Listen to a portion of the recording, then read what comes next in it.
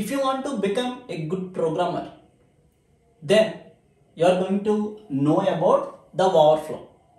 So what is a overflow? Means sometimes you are going to ascend a number, but when you are going to print that number, surprisingly you got another number as an output. So why it happened? It happens because of overflow. So what is a overflow means? Let us take your computer system support 4-bit data storage. So that means the number whatever it is that is stored in these 4 bits only.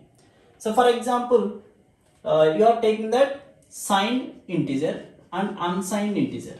Signed integer and unsigned integer.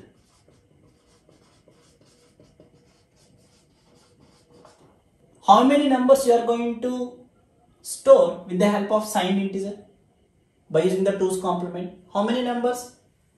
From 0 to 7 and minus 1 to minus 8.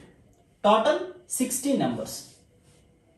And by using unsigned integer, how many numbers you are going to store 0 to 15 only. So total 16 numbers. Here the signed, so positive numbers and negative numbers. Here unsigned is only positive numbers, so 0 to 15. So for example, if I ascend a variable, if I take a variable a and I ascend 8, 8 is not in this range. So it ascend only 7.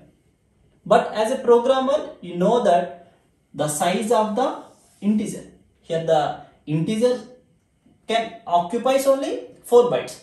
By using this 4 bit storage, you can store up to 0 to 7, minus 1 to minus 8. But if I if you try to assign the 8, that is not stored in this computer. Okay, so why? So overflow. And similarly, unsigned integer. Here, the range is 0 to 15, but you are trying to give a equals to 16. 16 not in this range, so it is overflow and it stores only 15. Okay, that means if I give a equals to 3, this is okay. If I give a equals to 30, that is not okay. Why? It is not in the range. So based on this technique only, the ranges of the data types is decided. We can discuss about this in our future classes.